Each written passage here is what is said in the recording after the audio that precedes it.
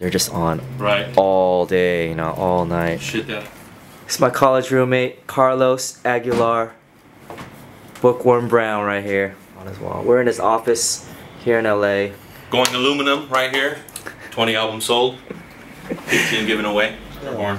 Wilshire Ebell. Sorry, we had a little collaboration go down across the street here. Yeah.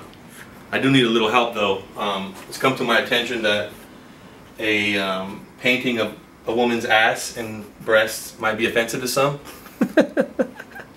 Wait, can, wait, uh, can you explain what you do?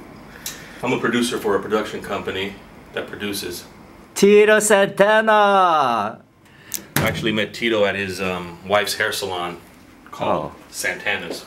So uh, he's still holding it down. Nice. What, what was his move? Did he have Flying, a get move? the flying burrito. Shut up. He did have the flying burrito. Sorry. That's how he did it then. Why would... but wait, um, what was the flying burrito? What was the move? Basically an elbow coming off the ropes and just Oh. flying with the elbow right to the grill. And Tito Santana is actually, you know, embodies the Latino work ethic, having been the only wrestler to wrestle in the first eight WrestleManias. Oh, really? Take really? that to the bank. Nice. What's up? My name is Carlos Aguilar, and I'm right here in the swanky um, Larchmont area of Hollywood. Not because I live here, but because I do the lawn right over there. That's my work. Um, I'm here with PK today to give him three reasons why knowing an Asian is always a good thing. First reason is, um, you know, the chopstick tutorial. Uh, the, the second reason is um, but I'd like to come to the defense of the uh, Chinese driver, if I if I might, Yeah. or the Chinese American driver, because I've uh, seen the Chinese driver in Beijing maneuver, stop, go in reverse on a highway, swing left and right, and not hit a thing. So I could um, see where the training grounds were and how that, how that might translate into the type of driving required here. I don't know. did Someone tell me if that uh, frontal shield enhances or diminishes your periphery. I don't know. Is that? Can you do you drive with one of those, Paul? The the, the, big visor. There, and they're taking off their shoes at the door. Oh, super God. sanitized. I'm down with all that. Anything we can do to minimize dirt in the crib. Hats off to the Confucian ethic there, because leaving the shoes at the door, I'm down with.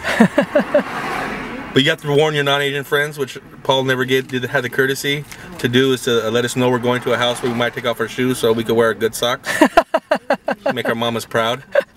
Cause you know, I might be wearing a Mitch Match sock, Mitch Match sock.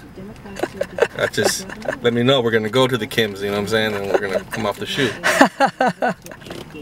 But um, yeah, man, Oh, man. mucho love. Hey, man, the president went to our school for two years. Oh, and uh, I think it was found out that Barack Obama you was stayed in uh, Haines, the same right. room that Carlos stayed in. So it's possible that the president of the United States had uh, sex in that room. That's right. Uh, some people like to tease me and say that uh, I might have a presidential jizz somewhere uh, in that room, but I say it beats the jizz of any ATO or other. Uh, if there's jizz in the room, heaven forbid I'm anywhere near it.